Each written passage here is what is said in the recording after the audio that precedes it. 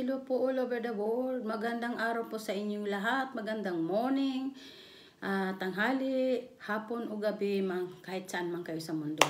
Ngayong araw po ay excited ako mabuksan ang aking bagong telepono, ang aking bagong cell. iPhone 11 Pro Max siya.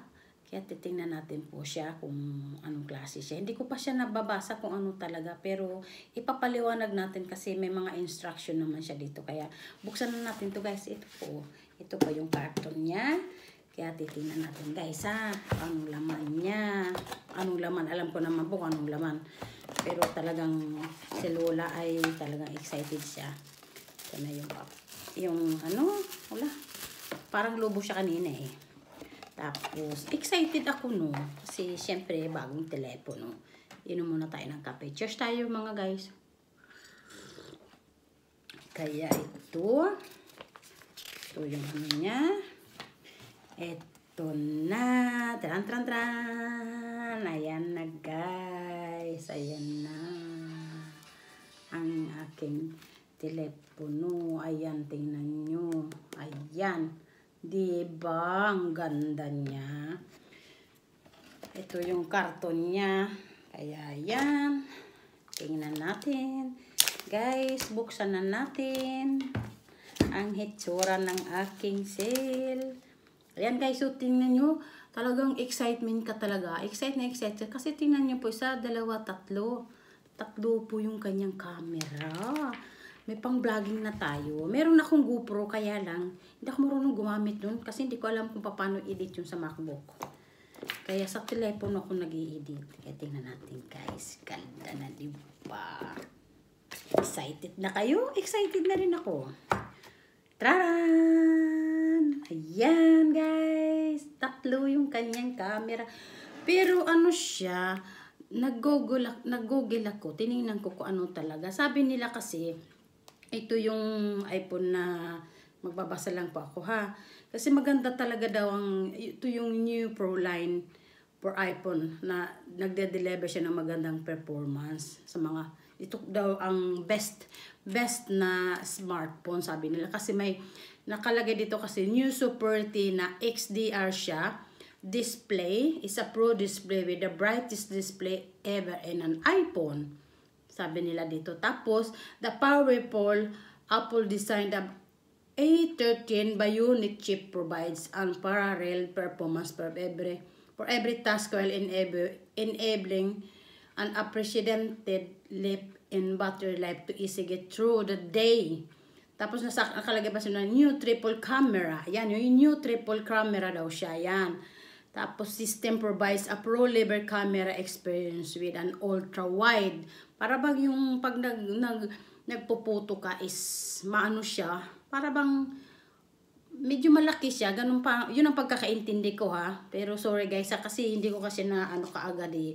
Basta na-excite lang ako, kaya gusto ko lang ipakita sa inyo na bago talaga yung iPhone ko. Na talagang ngayon lang makakaano na may iPhone pala na tatlo ang camera niya. Tapos, nakalagay siya dito na telephoto camera delivering huge improvement to low light photography and offering the highest quality of video. Yan guys, highest quality daw ang video niya in a smartphone that is a great for shooting and action videos. Alam mo ya, mag, magpagawa ka ng action videos, pwede ka na maglundag-lundag, magtalon-talon, magtakbo-takbo, ito ng ganito gamit mo, di ba? Di ba guys, social siya. Natanggap ko siya ano siya, pang Mother's Day niya. Kasi Mother's Day dito bukas, ay sa linggo. Sabado pa pala bukas. Sa linggo Mother's Day siya dito sa Europe. Kaya, pang Mother's Day to sa akin. Kaya tingnan nyo guys, oh, diba? Ang cute-cute niya. Tingnan natin yung loob. Kasi sa telepono lang tayo nag-ano eh. Ayan guys, ito yung, ito yung babasahin natin. Tapos ito yung ito yung pang contact niya para maglo-load ka sa telepono. Ayan. Meron pa siyang ano. Tapos ito yung headphones niya guys. May headphones na ako. Kasi sa kong telepono wala yung headphones ko. Ayan guys. Oh, may headphones na tayo. Tapos guys. Ito siya oh. Ito yung pang ano sa saksakan niya. Kaya, naku guys, para bang ang feeling ko eh, ako na yata ang pinaka social na mother and earth. sa sa palagay ko lang. Kasi narigalo na to sa akin. Sila yung asawa ko tapos yung mga junakis ko yan sila nagbigay nito. Kaya talagang uh, ang dami palang mga pagkakaiba sa kasi yung isa kong iPhone is iPhone 8 Plus siya. Ngayon ito naman siya ay is iPhone ano siya 11 Pro Max talagang malaki siya kasi makikita mo naman kung ang ano niya, ang size niya, 'di ba? Ang laki niya, no? Tapos ganda pa yung camera niya. Tapos nakalagay siya dito na ang ang sabi na dito is iPhone 11 Pro and iPhone 11 Pro Max coming up in four gorgeous finishes. Meron pa palang 11 Pro, pero ito 11 Pro Max siya. Eh, including a beautiful new midnight green na will available to pre-order. Mayroon siyang ano, mayroon siyang green din na kulay. Pero gold siya. Gold kaya, ito nga guys, so pakita ko sa inyo. Ayan binabasa ko kasi. Iba-iba pala siyang kulay. Ayan yung akin, yung gold. Tapos mayroon pala siyang green, may, ito yung green, may, may silver pala siya, tapos may, may black pa siya. Yan o, may white pa, tapos may gray. Kaya, nakaka, nakaka ano no? Tapos maganda pala ang ano niya, maganda pala ang ano niya dito, ang pag nagpi-film ka, tsaka pag nagpi-picture ka, maganda ang kuha niya parang yung, yung talagang totoong camera na mas magandahing camera ba. Kaya maganda siyang i-vlog, maggawa ka ng vlog, maganda rin siyang magkuha ka ng photo nito. Tapos nakalagay nga siya dito na eh, talagang malakas pala to sa ano, sa market pala to. Ito nga nakalagay dito na Super Retina XDR siya, the brightest and most advantage display in iPhone and the A13 Bionic chips sits, sits a new bar for smartphone performance and power efficiency. ba? Diba?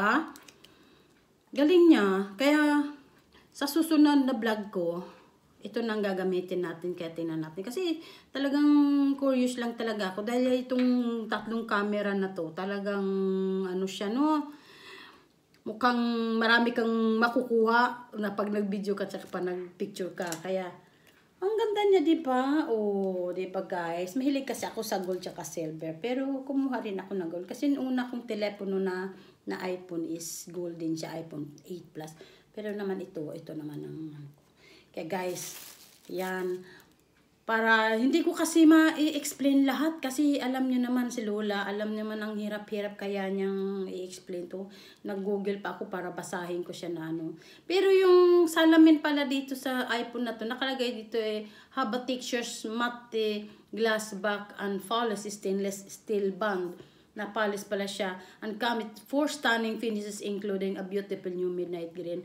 Uh, the most powerful device are also designed to be durable nakalagay dito na ang iPhone 11 Pro Max feature to the toothpaste glass ever in smartphone na rated IP68 for water resistance. For water resistance din. Up to 4 meters for up to 30 minutes pala to. Pwede ka palang magano dito sa ilalim ng ano, ng ano, ng tubig 4 meters to 30 minutes and are protected against everyday spill including coffee and soda. Kagaya ko nominom ako ng coffee ngayon coffee ngayon kaya eh, protecting pala siya. Okay siya sa lahat ng bagay. Tapos itong retina yung super retina XDR niya display is a custom design by OLED provides user in MSN HDR viewing experience for movies and other high definition video with up to 1200 nits brightness Hala, may brightness pa pala siya nito. Oh, super retina XDR pictures guys. Kaya yun, eh, napakita ko na po sa inyo na ito ay iPhone 11 Pro Max. Maganda siya. Subukan ko rin. Hope na masubukan niyo, niyo rin din. Kaya susubukan natin mag-vlog. Kaya guys, ito po ha. Eh, maraming salamat po sa inyo sa panonood. Kaya hindi ko kasi mapaliwanag lahat-lahat kung ano pa ang manakalagay. Pero binabasa ko naman dito na Maganda siyang i-vlogging, maganda siyang kunan ng video, maganda siyang mag-photo. Pwede kang mag-swimming sa ilalim ng tubig na 4 meters up to 30 minutes na hindi masisira. Sabi nila, nakalagay doon. Kahit na matapunan siya ng coffee or soda or soft drinks, hindi high quality talaga siya na protective talaga siya. Tapos yung salamin niya, yung sa harapat niya ay is maganda siya. Tapos pag kumuha ka ng mga photo, mga mga picture, bright daw talaga siya kaya yun. Eh, magandang maganda talaga siya. Kaya ayan. Ayan guys ha, titingnan nyo ha. Ayan o iPhone 11 Pro Max. Kaya yan. Ito yung ito yung karton niya. Kaya nakalagay siya dito na iPhone. Kaya, yan guys, yan. Mm. Kaya guys, maraming salamat, salamat po sa mga manunod nitong video. Hope na share, subscribe, shares, and like po sa video ko. At maraming salamat po at na nakinig po kayo sa video ko na ito. Kasi gusto ko lang po lang i-share sa inyo yung aking Mother's Day present na galing sa mga anak ko at sa asawa ko.